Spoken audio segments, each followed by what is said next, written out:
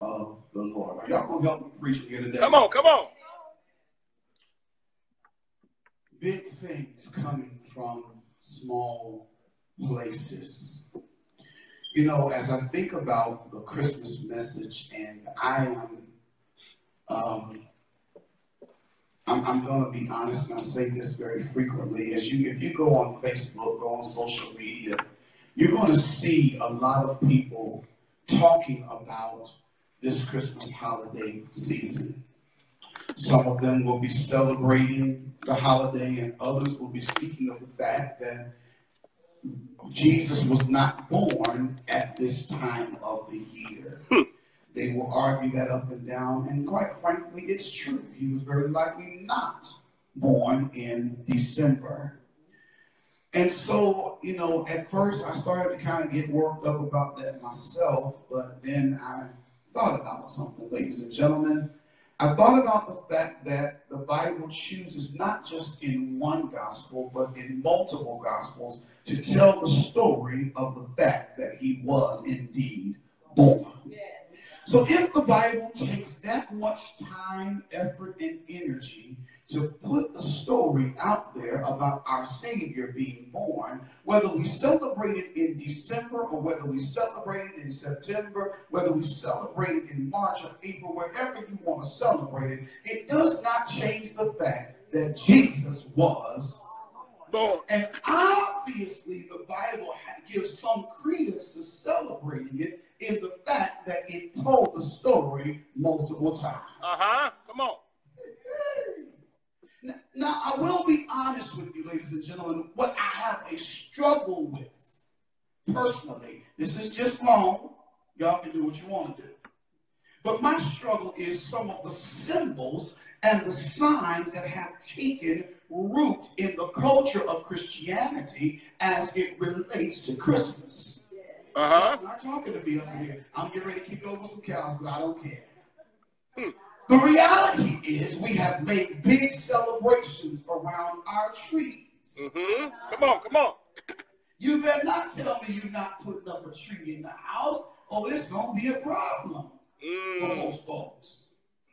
Now, we celebrate and we talk about holly and wreaths, but most people don't understand that a lot of that stuff actually came from pagan background. Uh-huh. Come on, come on. Lord have mercy. It's tight, but it's right. Work. And, and so people get all, and if you really pay attention to most of the songs that we call Christmas songs, we're talking about a fat man in a red suit. Mm. Yeah. We're talking about, now watch this, a lot of the songs that we call Christmas songs aren't really Christmas songs, they're winter songs. Why y'all not talking to me up in here? come on, come on. A lot of the songs that we call Christmas songs are really winter songs. Let me prove my point. Sleigh bells ring, are you listening? In the lane, snow is glistening. Sing the love song as we go along, walking in a or we'll sing things like jingle bells, jingle bells, jingle all the way. Oh, what fun it is to ride. On the open sleigh. Don't sound like Christmas to me. Sounds like a winter song. Woo. Help us. I'm gonna work with you today. Work. We sing all of these winter songs and call them Christmas songs because that's when they play them around around Christmas time. Uh-huh. And then we got songs like Up Through the Housetop. Y'all know that song. Talking about St. Nick. Say, Nick. Got a fat man coming down your chimney. Wow. Oh, I got the fat man coming down the chimney. Have some cookies. Now I used to ask the question. First, I used to ask the question because I used to live when I was growing up. When I first you know, young, real young, growing up, we didn't we lived in an apartment. Come on, man. come on. Me? How is Santa gonna get to me if I live in an apartment and he got to come down to get Uh-huh. God. So it did. Now listen, parents, if y'all still telling if y'all still telling your children that lie, y'all might want to cover their ears right now. Now I'm gonna be honest, Elder Larry. I'm gonna be honest. I got a problem here. Can I, can I, can I talk to you for a minute? Here's my problem. If I work hard all year long, making money, trying to look out for my family, how in the world and why in the world am I to give credit to some fat man from the North Pole for putting gifts on the tree? I'm sorry, that's just me, y'all. That's just me. You said, Michael, you talk about you saw mama kissing Santa Claus. I need to know who that was.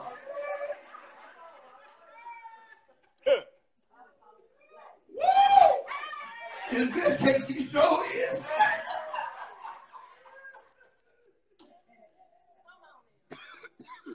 but we have told those lies. And we've made Christmas about holly and wreaths. Now, can I get one more off my chest, y'all? Can I just get one more, one more off my chest?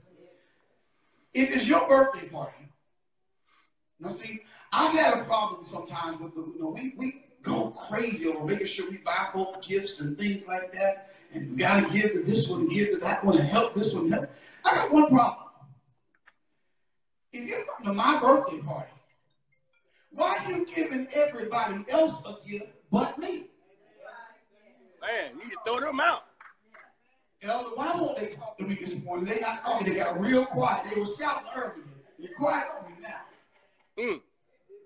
But it's supposed to be my birthday celebration, and we say it's a symbol. We do it as a sign of God having given gifts. I would rather go and be a blessing to somebody and help one soul. Give Jesus what he wants.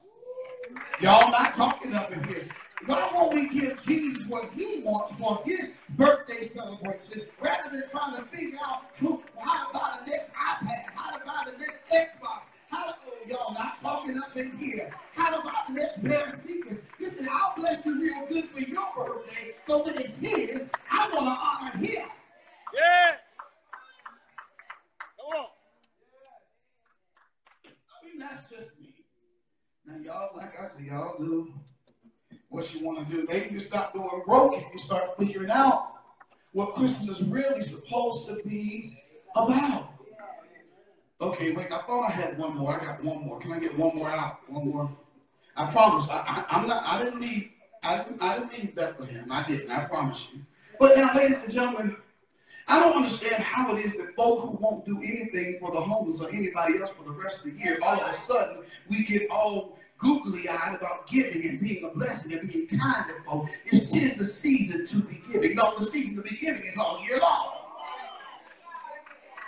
You mean to tell me they're not hungry throughout the rest of the year?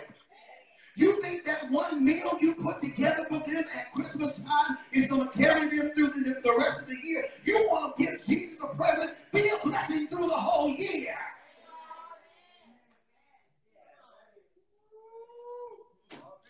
Think about the needs of the homeless through the whole year. Think about social injustice through the whole year. Be a blessing through the whole year, not just at Christmas.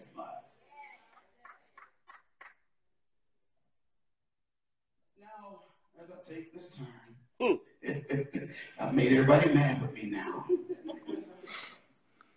One thing I have come to discover about my life, and as I look at the lives of believers who have tapped into the things of God, we say it, but I don't know that we really believe it. But the steps of a good man Mm-mm. are ordered by the Lord. And that really speaks of, now pay attention right here, because that really speaks of the providence of God. Mm. Somebody say providence. Providence. What that word literally means is that God is in control. Oh Lord, somebody should have got happy right there because it's the fact that God is in control. I know things may look a little crazy in your life, but God is Control. Yes. Woo! I feel like preaching. I just felt something right there. Ladies and gentlemen, one thing I can appreciate about God is God knows how to work everything that happens in our lives together for our good. Y'all will see where I'm going in just a minute. But God knows how to set everything up in your life to work together for your good. Come on.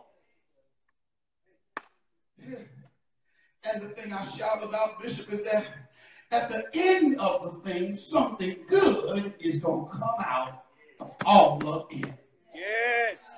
So while you're in the middle of the hell of your life, you ought to start confessing something good is about to come out of this. I may not like it right now, but something good is coming out of this. Yes. Thank you, Jesus. Oh, God. God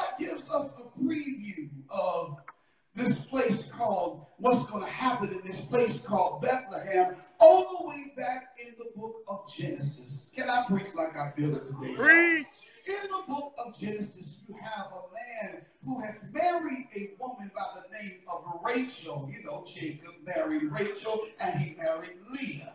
And Rachel, he has two babies by, one of them by the name of Joseph, one of them by the name of Benjamin. Now you have to understand, ladies and gentlemen, when you start talking about uh, Rachel, Rachel was giving birth to Benjamin when she died. Come on. Come on. On her way out of here, when she was about to die, she named that last son Benoni. Mhm. Somebody say Benoni. Know. Benoni means the son of my sorrow. Uh, if you're not careful, sometimes in your life, you can start naming things what you see rather than what they really are. You can start calling things what they look like right now rather than what God has ordained for them to be. And so the Bible declares she named him Benoni, but then Jacob turned around and no, his name can't be Benoni. His name has to be Benjamin. Benoni means the son of my trouble, but Benjamin means the son of my right hand. He pronounced prophetically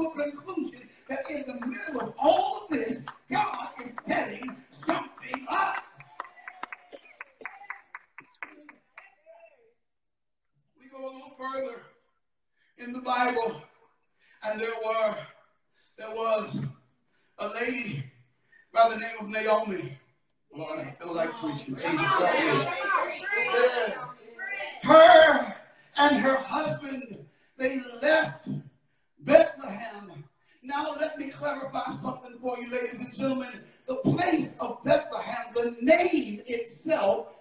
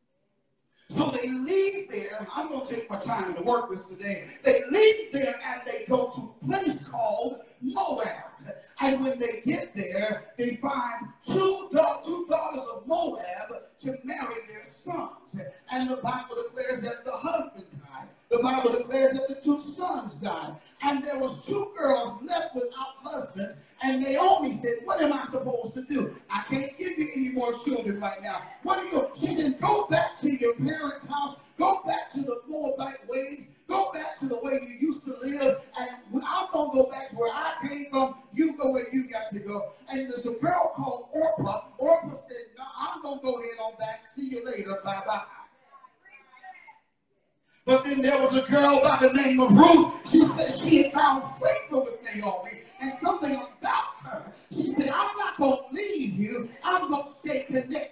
God have mercy. Something to be said about the power of your connection. In this season, somebody ought to recognize when God is sending divine connection. Sometimes God is sending you in places and putting you in uncomfortable positions.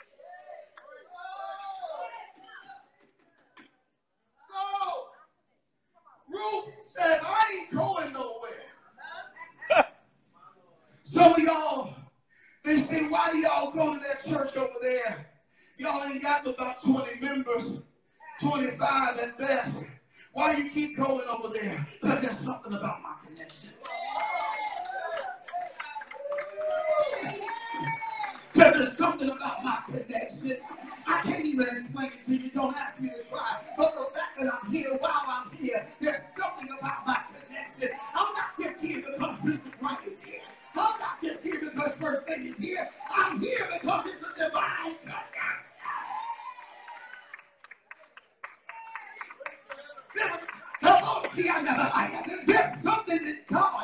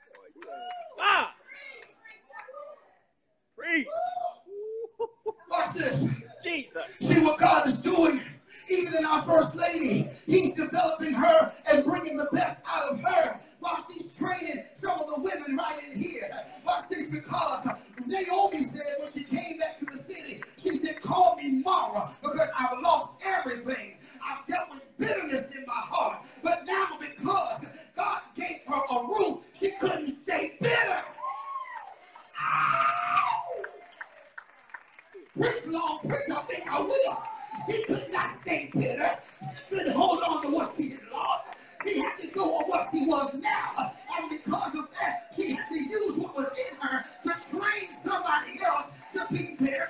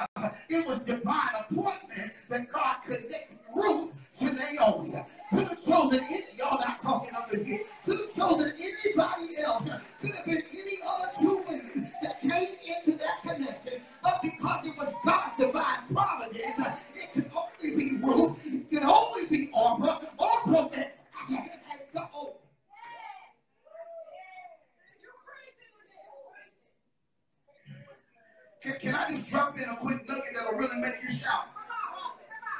You know the one that went back that was named Orpah? Theologians say she was the forerunner of Goliath. Y'all not talking. Y'all will catch me in a minute. I said theologians say the one that went back was a forerunner or a foreparent or a great grandparent of Goliath. But the one who with it, the one who stayed there, the one who held on to her divine connection, she was the one who, out of her lineage, came a man by the name of David, who would become a giant slayer.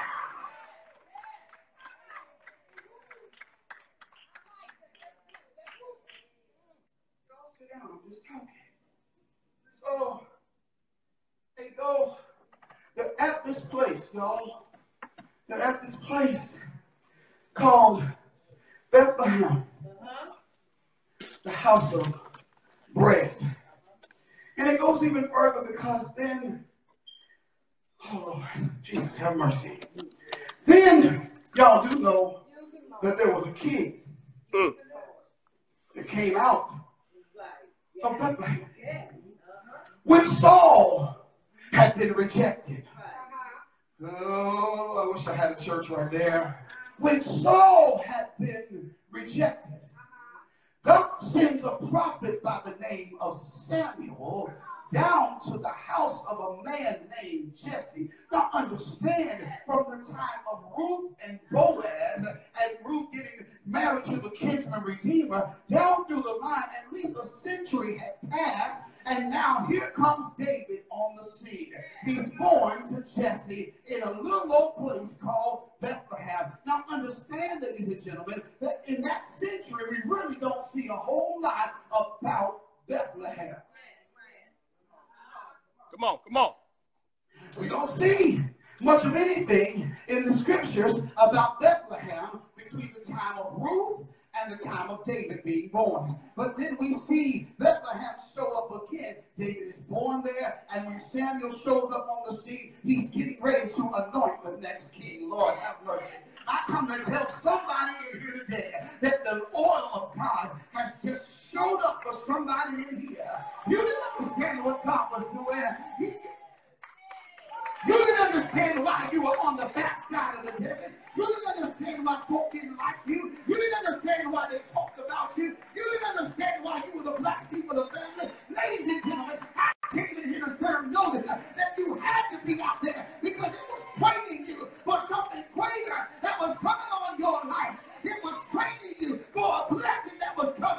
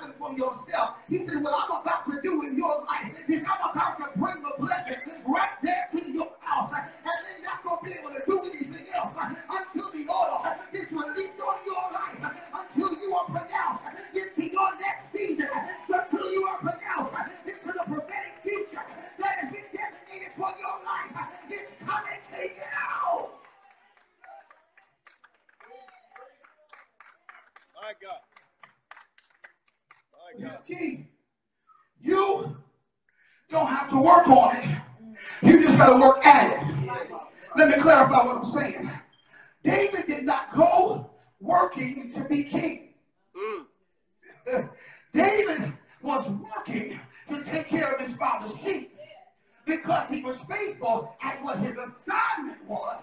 God chose to raise him up because he was diligent at his assignment. Just like, y'all know I don't do a lot of touch your neighbors, but tell somebody around you, you can't afford to go trying to make it happen for yourself. Uh-uh, don't try it happen for yourself. You can't afford to do that. You gotta just do what God God's gonna raise you up and send forth the oil that will be the prophetic destiny of your life. This helping somebody today. I think about Joseph. Everybody talks about Joseph, but Joseph wasn't looking for anything. He wasn't when, even when he had a dream, he wasn't looking for anything. Joseph was just being who he was, and God gave him a dream because God had appointed him to something.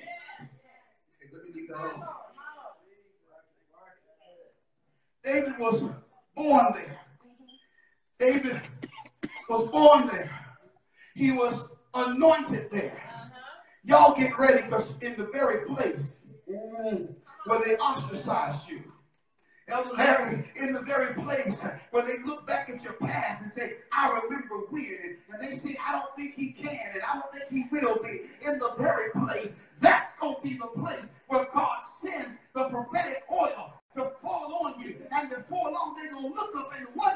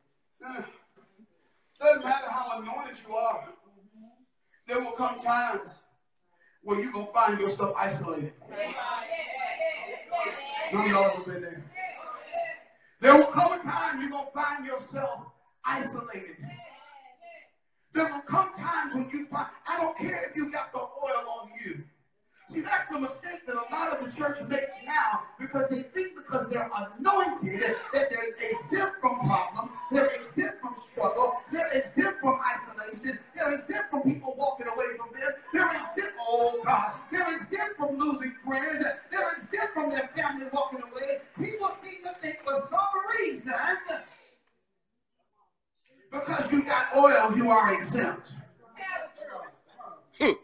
Let me let me drop an insertion here. The night that I got engaged, I was going through so much in my mind. People were coming up and they were hugging us and celebrating us and saying how happy they were for us. But in my mind, I could not even enjoy the moment because I was saying to myself, I, am so watch this. I've been so used to pain.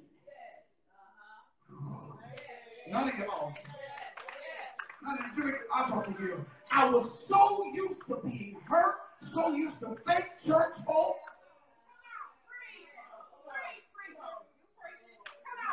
I was just standing there wondering where was the dagger gonna come. No, not talking. I was standing there wondering who was going to stab me in the back. Where was the attack going to come from? I said, Lord, no, just as sure as this is happening and this is good news, sure. Can I be transparent? Most of y'all know my story. Most of y'all know my background. So you would think when God starts doing something special for me, Come on, and on. has completely flipped the script, you would think that church folk would be happy for what God is doing in my life. Rather than church folk being happy, a whole lot of them had a whole lot to say. But guess what? I don't care what you gotta say.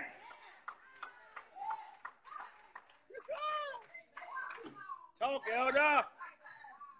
It took Elder McCall Caldwell to come in here and preach that Sunday morning and talk about the oil and the wine to wake me up to what God was really doing in my life. He showed me through the Word of God that I was wounded real deep because I had been wounded so bad, I was laying there half dead. But it showed me that I was looking at the wrong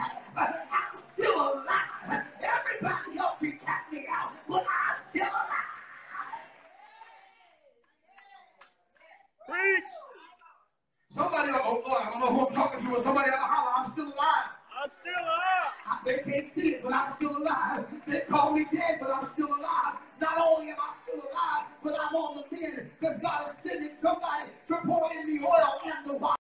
I'm not going to keep being who I was because God is healing all the broken places of my life. God is restoring every damaged place of my life. And then He's pouring in the oil to make sure that it does not get infected again. I come to tell somebody that God is ministering healing to your life today on this day before Christmas. Healing is here. Hallelujah. I'm sorry, though. I feel like preaching this morning.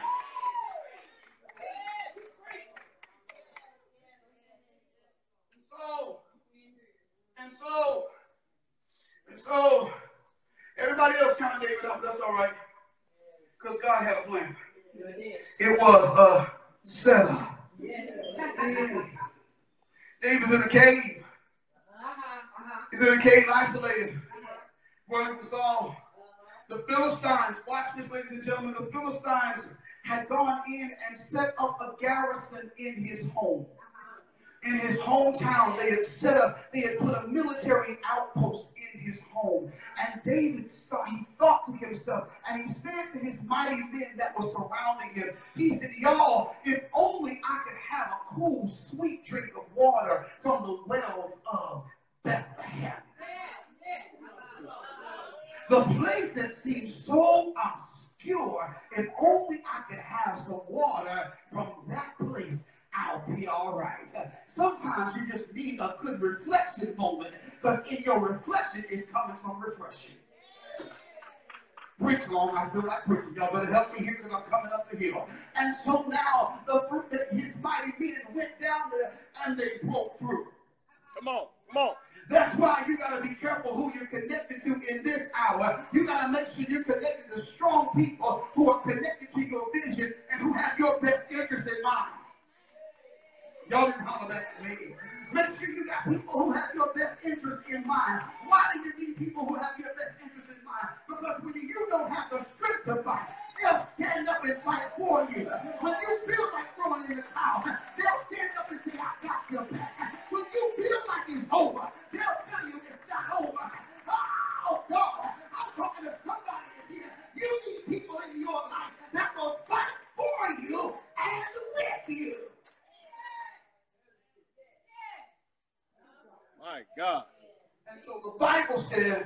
they went and they broke through the garrisons of the Philistines and they got that water and they brought it back to the man of God. You need people who can refresh your life, not zap the life out of you.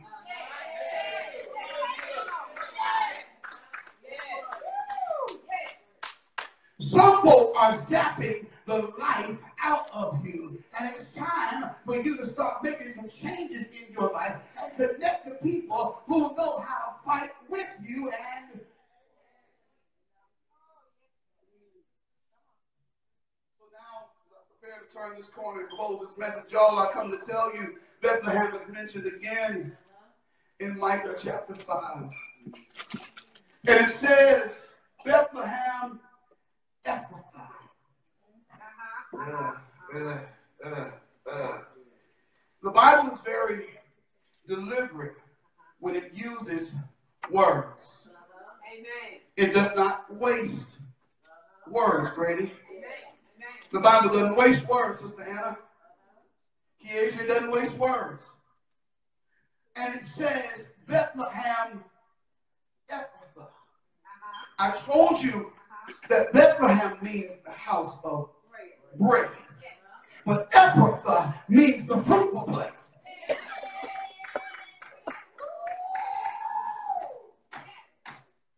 Y'all should have shouted real good if you came to understand that even though your life may seem small right now, what God has prophetically announced over you and pronounced over you, He's pronounced you fruitful.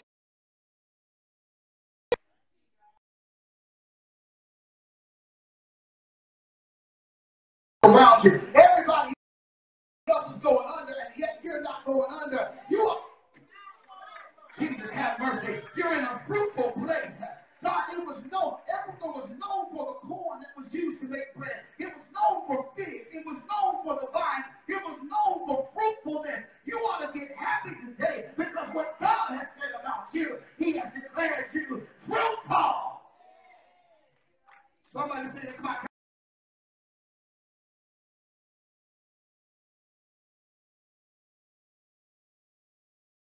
Bible says now there was a there was an issue of a decree that the people had to go back when Rome came into power. They had to go back to the place of their home and of their heritage, and they had to be counted.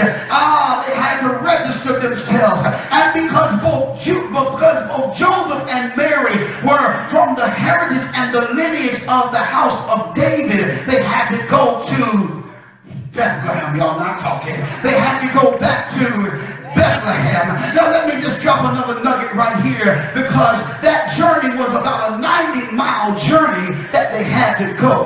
What are you saying, Long? I'm telling you that journey was inconvenient, but God was setting something up. The journey was uncomfortable,